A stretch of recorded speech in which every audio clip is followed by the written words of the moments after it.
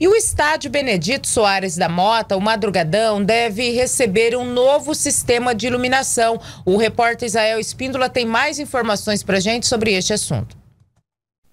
Pois é, Ana, o estádio Benedito Soares da Mota, o Madrugadão, deve passar por este processo de modernização principalmente no setor de iluminação.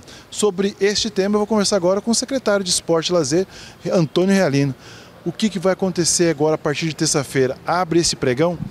É, Zé, está marcado, né, segundo o pessoal da Secretaria de Finanças, né, minha amiga Soila, já está agendado esse, é, esse pregão que vai acontecer dia 7 agora de dezembro, na semana que vem, aonde é, esse pregão vai ser feito para que a gente possa é, contratar a empresa que vai trocar aquela iluminação, né, fazer a prestação de serviço e a troca da iluminação que é antiga, né, a iluminação já arcaica, que é, é aquelas é, luminárias lá que tem reator, demora para ligar, quando cai uma fase, demora para reacender, enfim.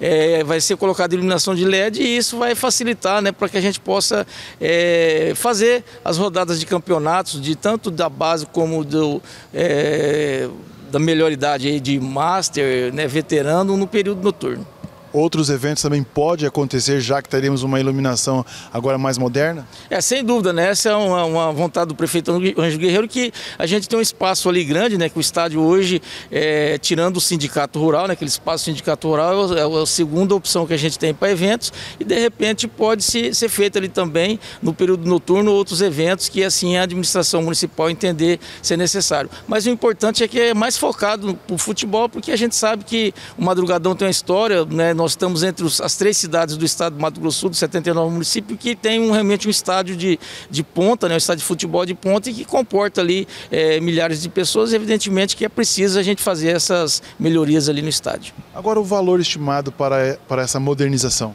É feito né, o processo licitatório e aí tem todo o encaminhamento que é feito de é, uma média de preço que é, mas acho que em torno de 200 mil reais. Não significa que vai ficar esse valor, pode ficar mais ou pode ficar um pouco menor. Aí depende do processo, as empresas interessadas né, que vão é, fazer o serviço e a troca dessas luminárias, mas é um pouco para mais ou para menos o processo que vai ser realizado dessa licitação.